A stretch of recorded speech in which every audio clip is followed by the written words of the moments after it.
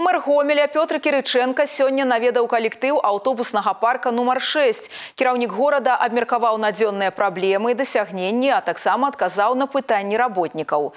Першае паўгоддзе стала для Гомеля выпрабаваннем. Пандэмія COVID-19 паўплывала на ўсе сферы жыцця. Тым не менш горад дастойна прайшоў гэты этап.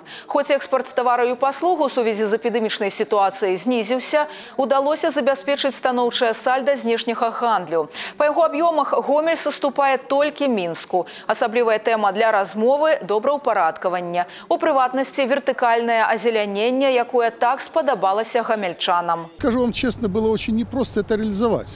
Потому что, ну, если это какие-то там буквально сотня, две цветов, то, наверное, это сложности не должно ни у кого вы- вызвать.